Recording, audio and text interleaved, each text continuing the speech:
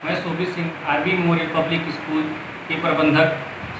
आज हमारे देश में कोरोना वायरस का प्रकोप बहुत ही ज़्यादा बढ़ते जा रहा है, जिससे हमारे प्रधानमंत्री माननीय श्री नरेंद्र मोदी जी ने लॉकडाउन को बढ़ा करके तीन मई तक कर दिया जिससे हमें कड़े नियमों के साथ उसका पालन करना चाहिए।